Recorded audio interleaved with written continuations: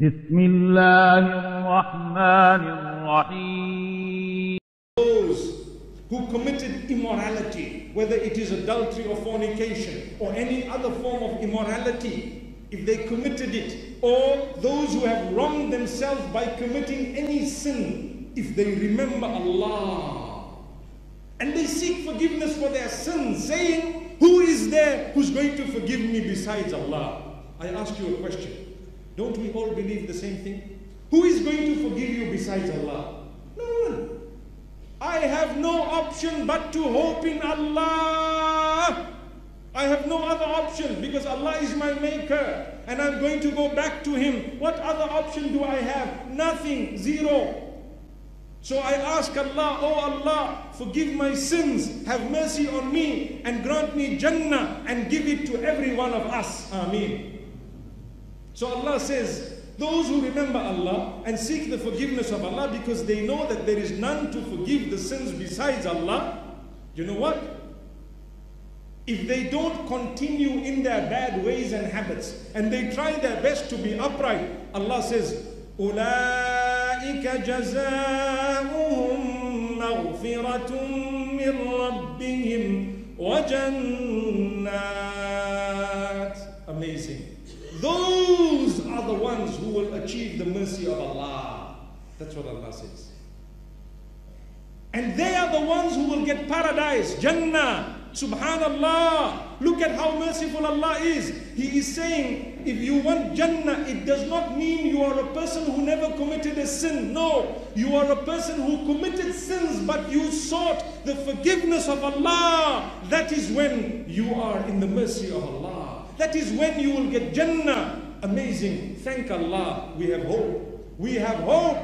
We will not lose the hope in the mercy of Allah. We will have hope. So, this is the beauty of Allah.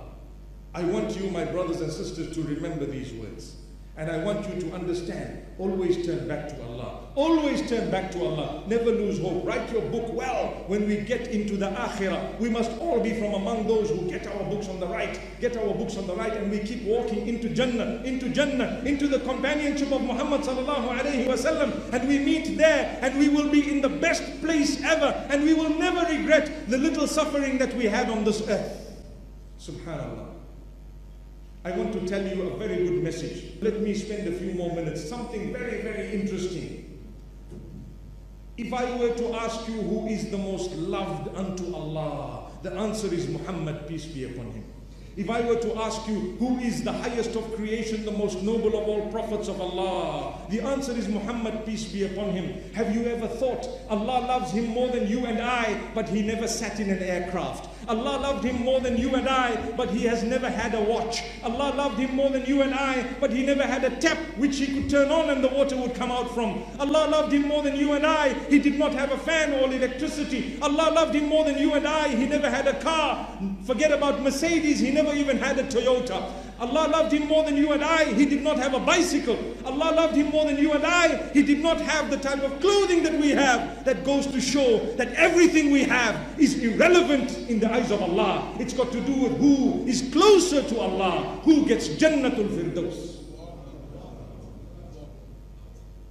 Remember that. When you have things, it's not a sign of the happiness of Allah. Sometimes, maybe when you don't have it, it's a sign of the happiness of Allah.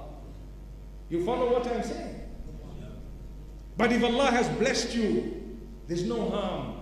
Let your blessings bring you closer to Allah and make you humble. Some people, when they have the blessings, they turn away from Allah. Some people, when they have blessings, they become arrogant. Remember, my brothers and sisters, two things will take you to paradise. Taqwallahi wa husnul khuluqi. Be conscious of Allah and treat the other people with a lot of respect. I call on you to do those two things.